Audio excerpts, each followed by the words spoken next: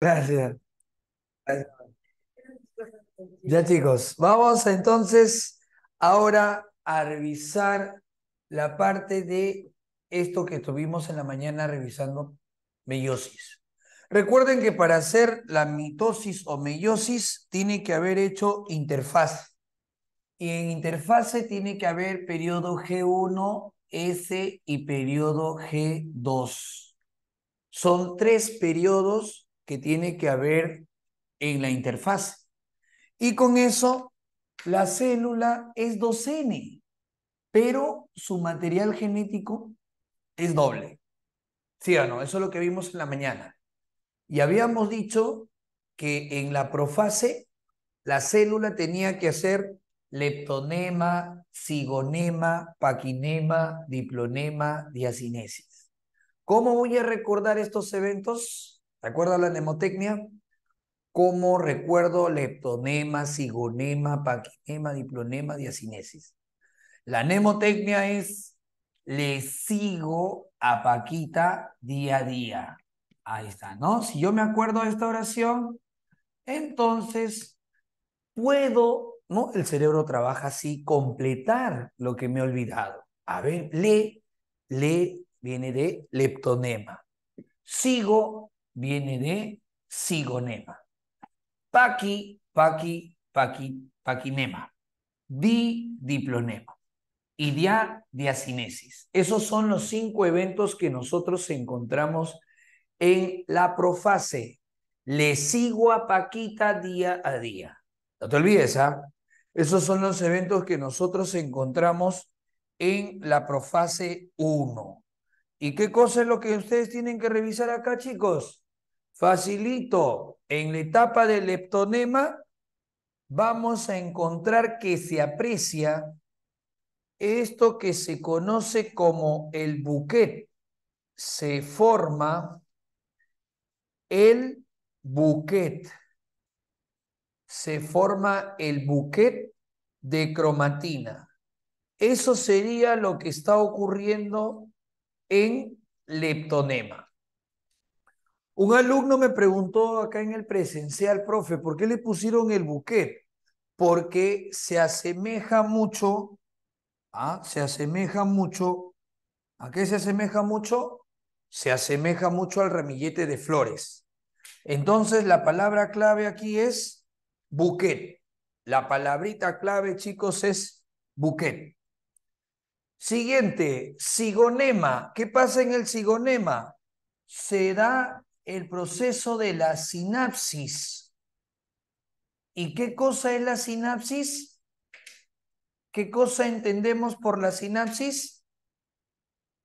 Se va a unir, exacto milagros, se van a unir los homólogos. Excelente. Hay la unión de homólogos.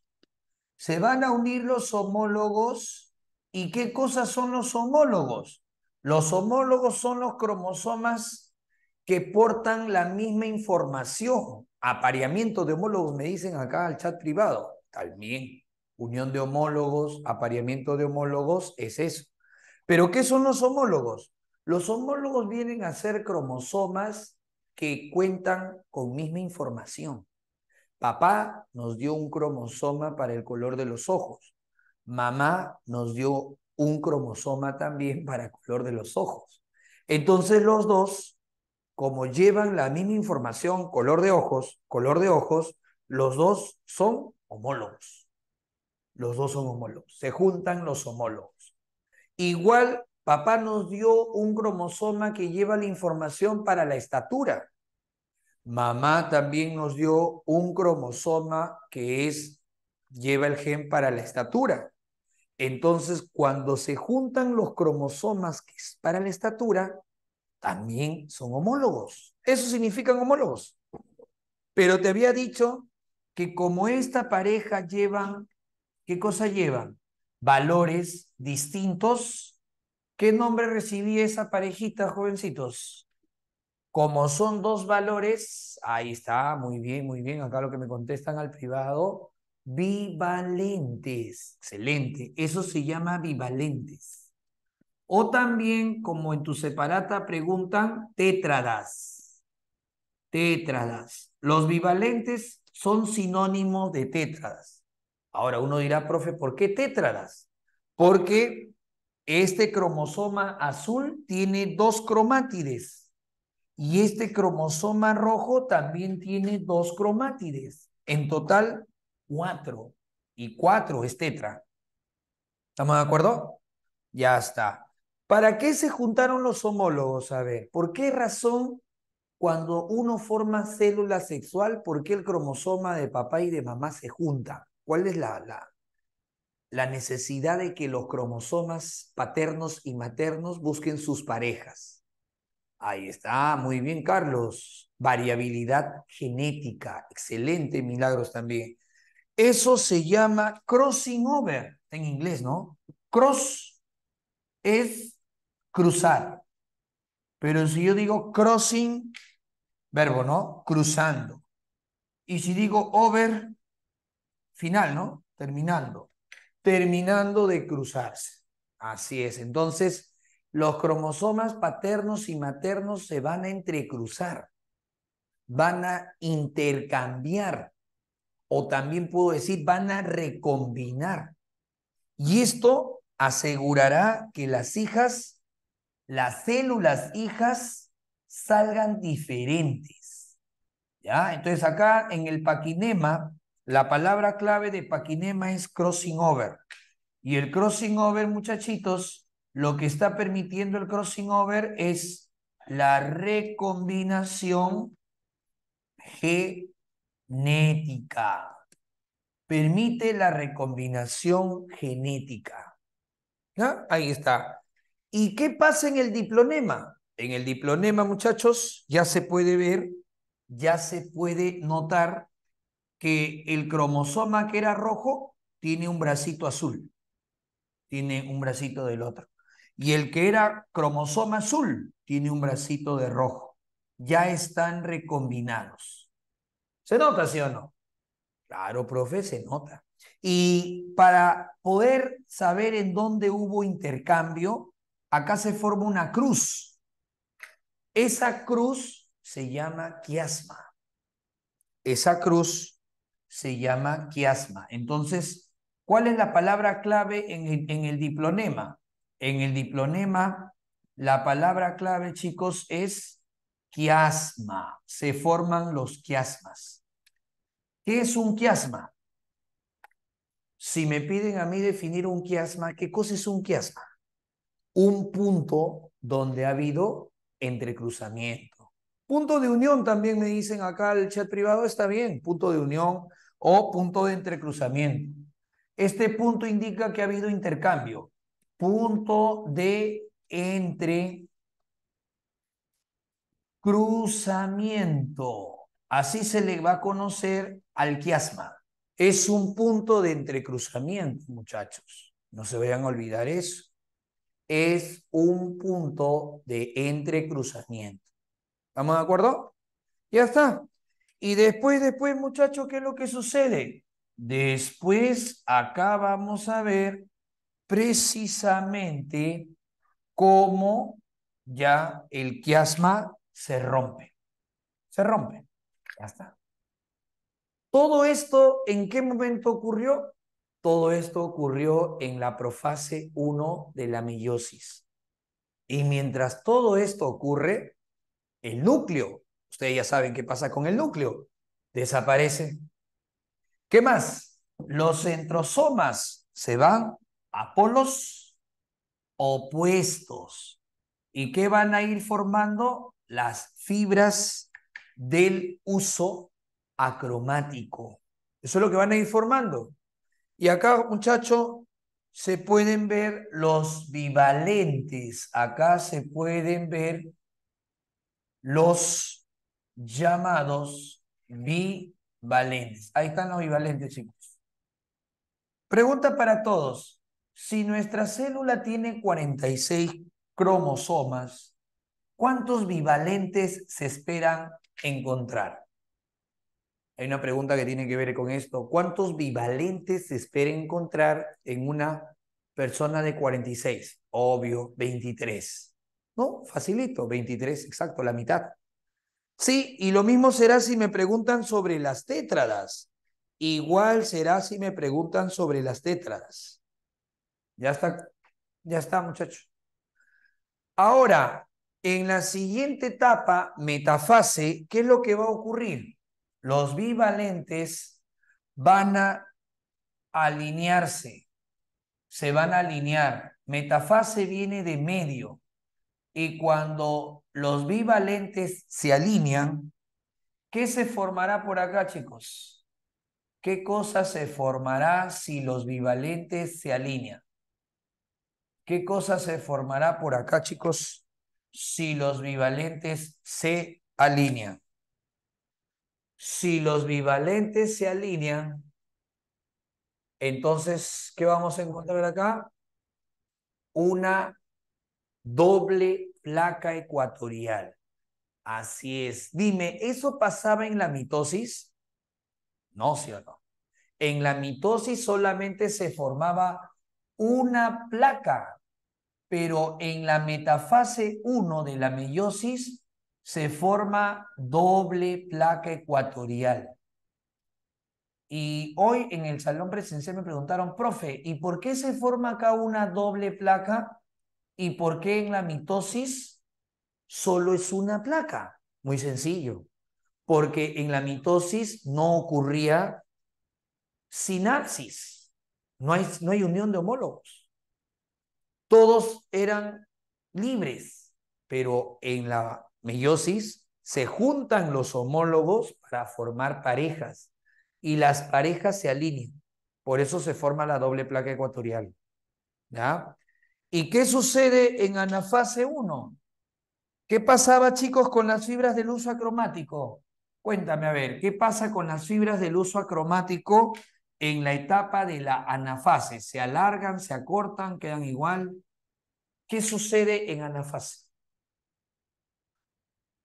Correcto, hay una disyunción y si hay una disyunción, entonces en anafase 1, en anafase 1, ¿qué cosas se van a separar? ¿Qué cosas se separan en anafase 1? ¿Cromátides o cromosomas? A ver, ¿qué cosa tú ves en el gráfico? Ya sabemos que es una cromátide y ya sabemos que es un cromosoma. ¿Qué cosas se están separando en la anafase número uno? ¿Cromosomas o cromátides? Cromosomas, excelente muchachos, muy bien, correcto. Se separan los homólogos. Entonces yo digo acá, acá se da la disyunción, disyunción o separación de cromosomas homólogos. En cambio, en el caso de la anafase de la mitosis, no es disyunción de homólogos. En la anafase de la mitosis eran disyunción de cromátides hermanas. Acá se están separando homólogos. ¿Se nota o no la diferencia entre la mitosis y la meiosis? Yo creo que sí, ¿no? Claro. ¿Por qué? Porque acá se está formando una doble placa. Acá se están separando homólogos. Y si a mí me pregunta, profesor, ¿cómo era la célula aquí? Diploide, pero tiene cromosomas dobles. ¿Cómo será la célula acá? Diploide, con cromosomas dobles. ¿Cómo será la célula aquí? Diploide, con cromosomas dobles. Pero aquí ya no puede ser en anafase diploide. ¿Por qué? ¿Por qué acá ya no puede ser diploide? Porque si dos maripositas eran 2N, entonces una mariposita, ¿cuánto es? N. Esto sería N. Acá también N. Y eso es haploide. Pero como son dobles, ¿qué le tengo que poner entre paréntesis? 2 y 2. El 2 solamente está indicando que son cromosomas de dos cromátides, que hay dos ADNs.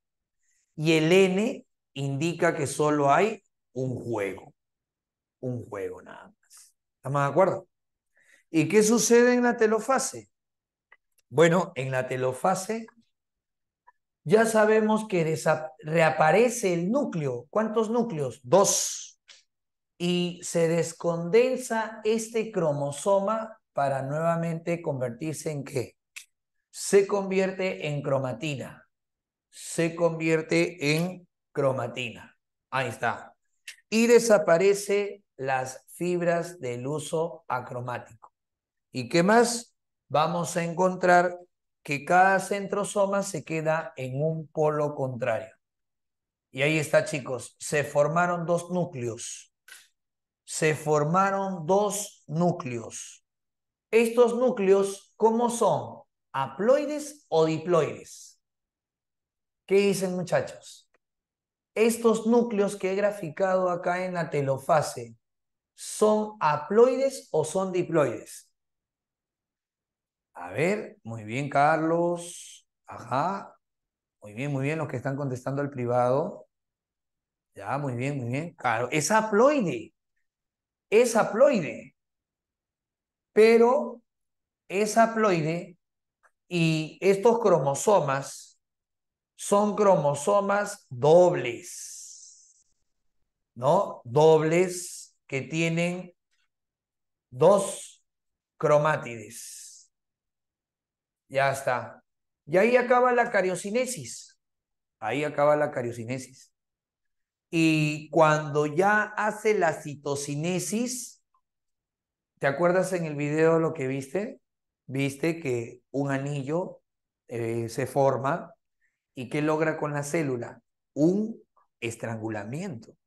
Y con eso, acá que se forma, chicos, dos células hijas que ya no van a ser idénticas. No, en la mitosis eran idénticas. Acá las hijas, ¿cómo son? Son diferentes. ¿Por qué salieron diferentes? Porque hicieron crossing over. ¿Sí o no? ¿Y por qué eh, son haploides? Porque hubo dos, dos placas ecuatoriales que se separaron. Acá me dicen, ¿Por qué haploide no sería diploide? Porque hay dos cadenas de D. No, cuidado, cuidado. A ver, cuando tú tienes acá dos ADNs, esto quiere decir doble. ¿Sí o no? Doble. Pero si solamente tienes uno, eres haploide. En cambio, si tienes otro que es igual a él, entonces ahora él también es doble. Pero como tienes dos repetidos, dos repetidos, ¿cómo te hace? Diploide. ¿Está claro? Sí, tengan cuidado. Por ahí en el chat me están diciendo que así, ¿por qué no es diploide? Me están diciendo. Me están diciendo por qué así no es diploide. No, así no es diploide. Esto es doble, pero cromosoma doble no es lo mismo a decir eh, célula diploide. Para que sea diploide tiene que tener pareja, pareja, y él está solito. ¿Estamos de acuerdo? ¿Sí? Entonces, el producto de la meiosis, el producto de la meiosis 1, el producto de la meiosis 1 son dos células haploides. ¿Y qué más? Dife, diferentes. ¿Ya chicos? Diferentes. Muy bien. ¿Alguna pregunta entonces hasta ahí? A ver, por ahí de repente hay alguna consulta. ¿Se entiende esto? ¿Todo bien? Sí, todo bien, todo bien, todo bien, muchachos. A ver, te leo si por ahí hay alguna consulta. Te leo, te leo si hay una consulta por ahí. ¿Todo bien? ¿Todo claro? ¿Seguros? Ya. A ver, chequeen su material. ¿Ya? Eh, revisen su material. Miren su material, por favor.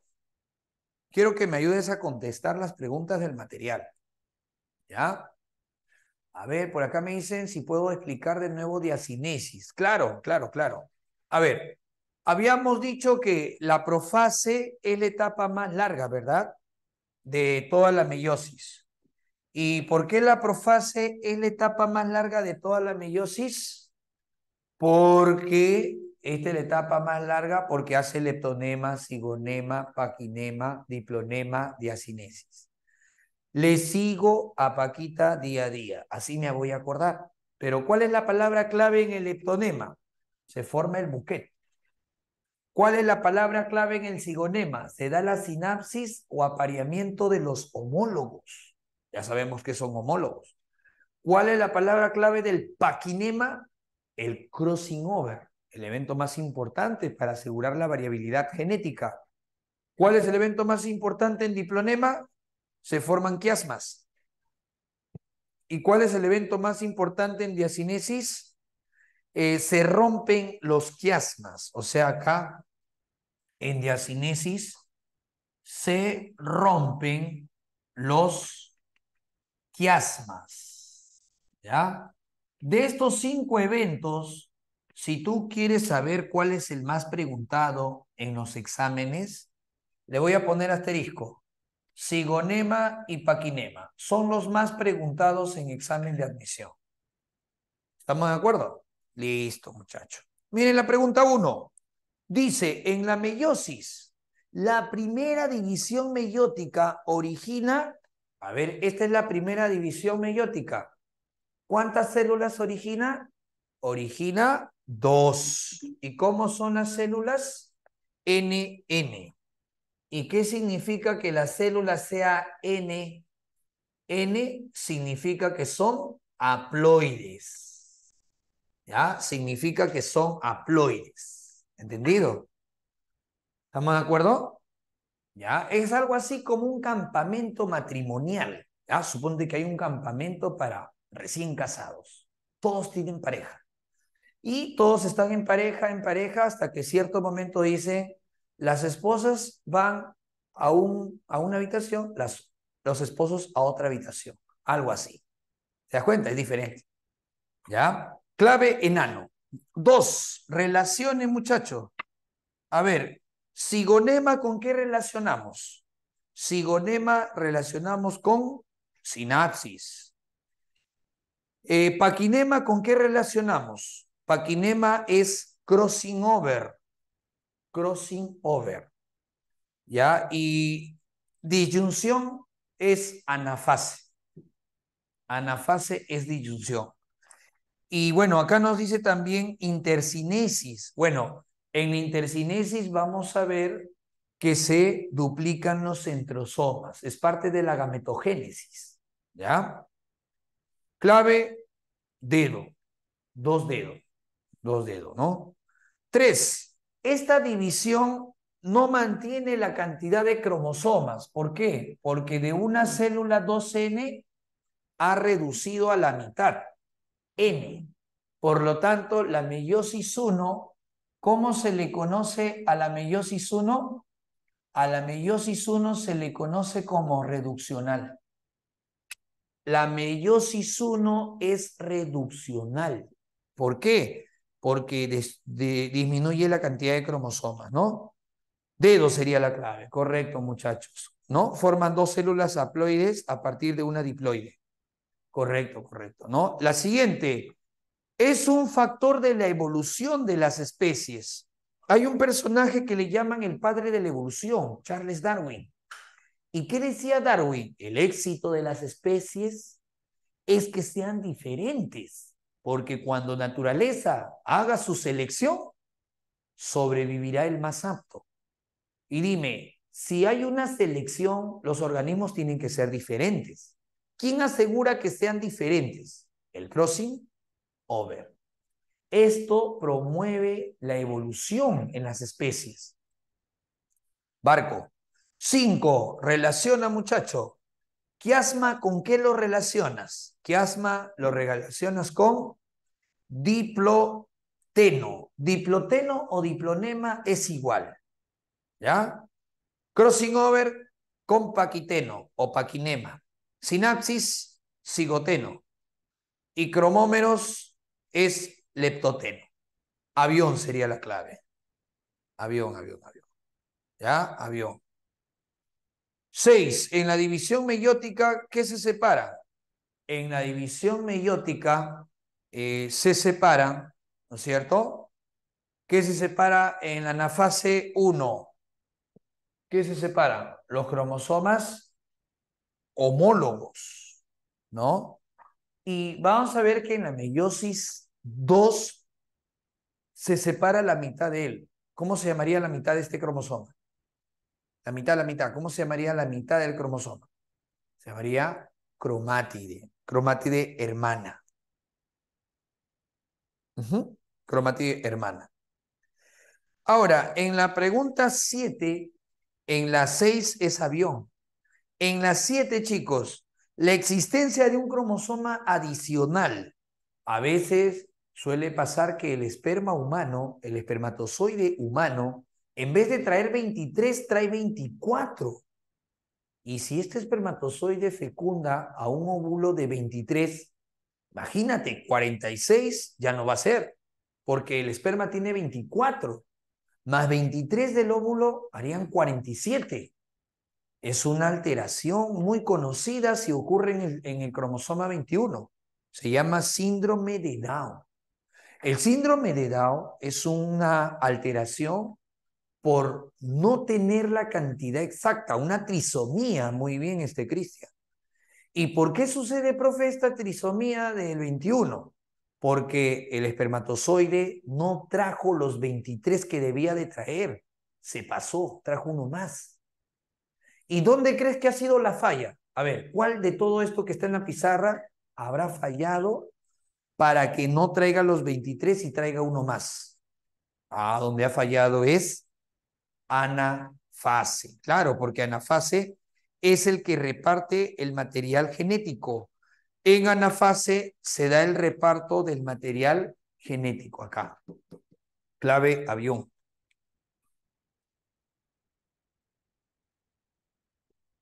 Muy bien, muchachitos. Bueno, estamos en hora. Igual, este, han pasado lo que es gametogénesis, y la parte de gametogénesis vamos a desarrollarlo, en este caso, la siguiente. Ah, en la pregunta, en la pregunta, chicos, 17 y 18, eh, ustedes pueden darse cuenta que en la 17 dice el proceso de la meiosis tiene como objetivo fundamental. ¿Cuál es el objetivo fundamental de la meiosis? Promover la variabilidad, enano. Y en la 18 la primera división de la meiosis debe ser reduccional. Claro, esta primera división es reduccional.